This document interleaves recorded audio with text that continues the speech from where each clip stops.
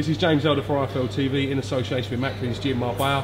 I'm in Marbella today in a closed training camp. With me, I've got Jimmy Tibbs, trainer of Billy Joe. All right, Jim? Joe, It's hard at it. It don't stop, does it, in here, Jim? Don't stop at all. I think, what, we done? yeah, I swear about that, Jim. So yeah, first and foremost, we've just seen the Skype link, the press conference, Chris Eubank in England, Billy Joe Saunders in Marbella. Went as planned. Yeah, good, good, good conference, good conference. You run the risk with these things, but you never know what quite's going to happen, do you? These things are uncharted a little bit. Well, um, him fighting on the 25th, uh, anything can happen in boxing, but he seemed to be confident enough to come through it, and uh, I think he'll come through it all right. Is there a bit of a rivalry between you and Chris Eubank Jr.'s trainer, Ronnie Davies? Nah, no way. Why should there be? I never, I ain't got box run, have I? no, that's right. That's right. I just thought, just from going back from your professional days and from Ronnie's professional days, there was a bit of banter there. Nah, nah. All right. How, how helpful has it been in, in the MGM taking Jimmy away from the T, uh, taking Billy away from the TKO, having him on his own?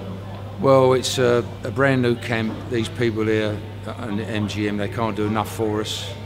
Everything we've asked for, they've give us. It's a beautiful runs, uh, uh, the, the running track, uh, running along the sea, the seafront. It's just, uh, and the gym, it's just marvellous. It's a, it's a big turnaround for Joe. It's a big help. Chris Eubank's fighting Jez Wilson four weeks before the fight. If that was Billy having a fight four weeks before, would, would you see that? Would you let that go ahead?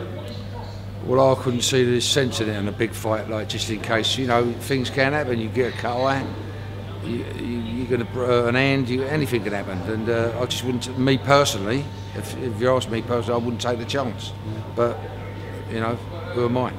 Frank Warren and Chris Eubank Senior seem to have some some firm words regarding a final press conference. Maybe potentially the Eubanks want it to go to Brighton. Do you feel that a bit unfair as Billy Joe Saunders holds all the belts? Well, I think so. Uh, he's a British and European champion, Commonwealth champion. Uh, he's got a great chance. He's stepping above half a dozen people to get this fight. Uh, and the press, uh, you know, it's hard for the press all to get to Brighton. It should, you know, Joe's the champion and she's got to play the game a little bit. She's learned to grow up and play the game. Billy Joe's wanted this fight for a long time, Jim. Do you think he runs the risk of getting emotionally involved with this? Nah, no way. Everything's under control. All right. Well, how long are you guys in Marbella now till you go back? Another five, six weeks. Five, six weeks. Intense camp. Yeah, good camp.